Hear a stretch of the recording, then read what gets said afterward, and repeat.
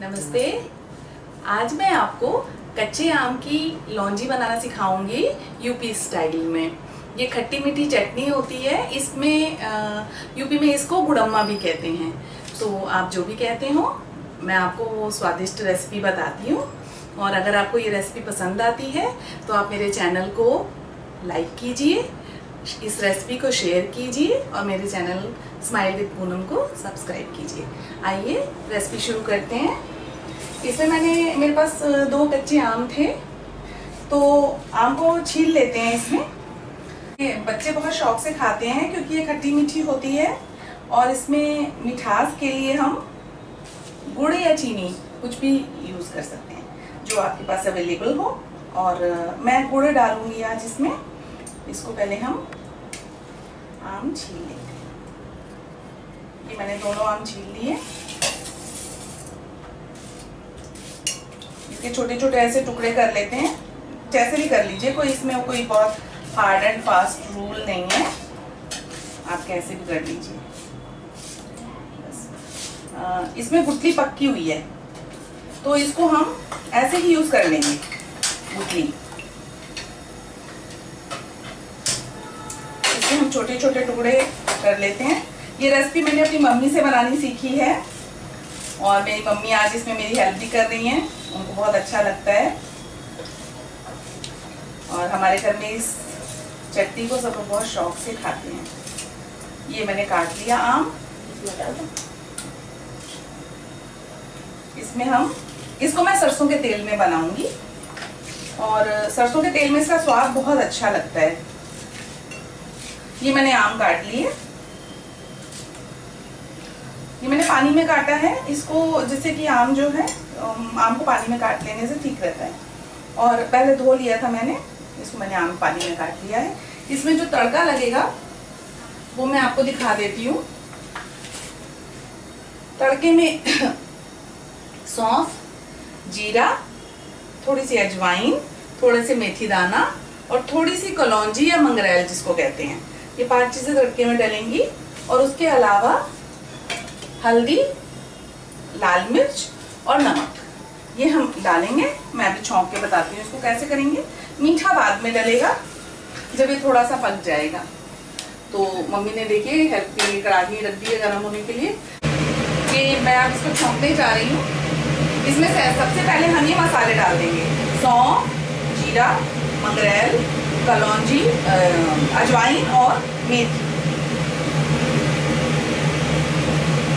आँच धीमा कर दिया है, क्योंकि जब चौंक डालते हैं तो हम आँच को हमेशा धीमा रखते हैं, क्योंकि मसाले हैं, जिनमें अपना नेचुरल ऑयल जो है वो दिक्कत ना हो। सारी इकट्ठे डाल दीजिए, कोई इसमें दिक्कत नहीं है। और प्रोपोर्शन मतलब फॉर्म ज़रा सी ज़्यादा डलती है बाकी चीज़ें थोड़ी थोड़ी डलेगी क्योंकि आम भी मेरे पास बहुत ज़्यादा नहीं है। आप देख लीजिए यहाँ। बस। ये देखिए, ये मसाला हमारा ये हो गया हमारा ये। तड़का हमारा बस जरा सा हो जाए। उसके बाद हम इसमें हल्दी डाल देंगे और लाल मिर्च डाल देंगे। हल्दी, लाल मिर्च डाल के हम इसमें ज़रा सा पानी डालेंगे, जिससे कि हमारा तड़का जले नहीं और ये मैंने इसमें आम डाल। दिया।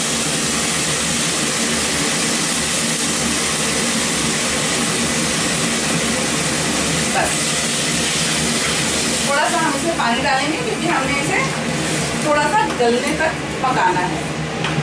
इसमें हम नमक डाल देंगे स्वाद के अनुसार। खट्टा है ये क्योंकि आम काफ़ी तो इसमें नमक स्वाद के अनुसार अपना डाल लीजिए। जैसे सब्ज़ी में डलता है, बिल्कुल उसी तरह से नमक इसमें डलेगा। और जैसे सब्ज़ी में रसा लगता है, ऐसे मैंने देखिए इतना इसमें डाल दिया है। इसको हम थोड़ा सा गल जाए, इतना तक पकाएँगे। अब ये गल जाता है, फिर मैं आपको दिखाती हूँ। आज तेज कर, आज तेज कर सकते हैं, क्योंकि गलना ही है इसको, पकाना ही फटाफट।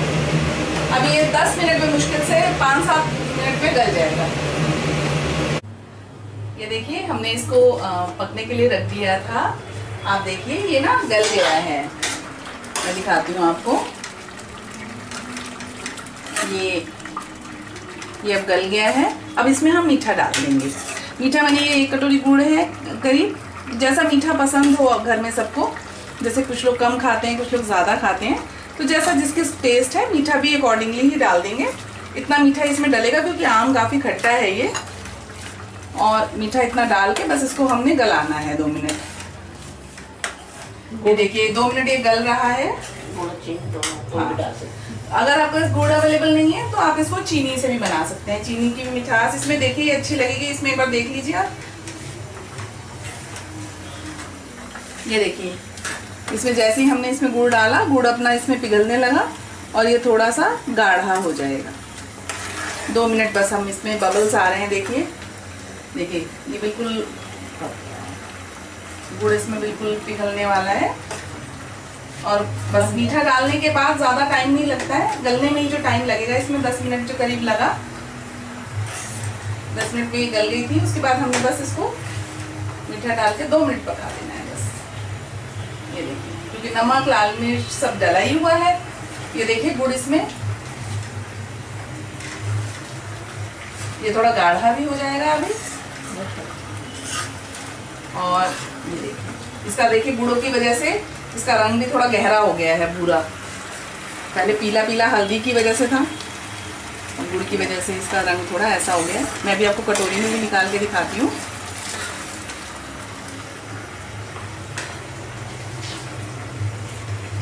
बस, हमने इसको इतना बस करना है। ज़रा सा और गाढ़ा हो जाएगा, अभी ठंडा होगा तो। और इसको हम फ्रिज में रखेंगे। फ्रिज में रख के इसको हम आराम से 10-15 दिन खा सकते हैं। और वैसे तो ये इतना टेस्टी होता है, बच्चे इसको छोड़ते ही नहीं है। पराठे के साथ, दाल चावल के साथ, जिसमें भी के साथ भी आप खा सकते हैं इसको। ये बहुत अच्छा लगता है, खट्टी मीठी चटनी आम की बहुत अच्छी लगती है ये। खाने का टेस्ट इनहेंसर है ये, एक तरह से। ये देखिए, ये बन गया है। हम गैस को ऑफ़ करते हैं। बस इतने में ही हम इसको उतार लेंगे। मैं आपको इसमें, इसको निकाल के दिखाती हूँ। मैंने इसमें देखिए गुटली भी डाल दी थी। मैंने फेंका नहीं था गुटली को। गुटली भी इसमें पक्की गुटली थी तो ये भी बहुत बाद में अच्छी लगती है। मैं आपको हाँ, मैं आपको इसमें ये निकाल के दिखाती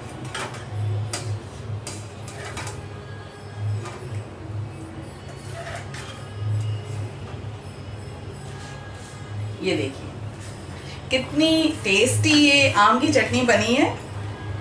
और मम्मी ने मेरी इसमें मम्मी ने मुझे सिखाया है ये।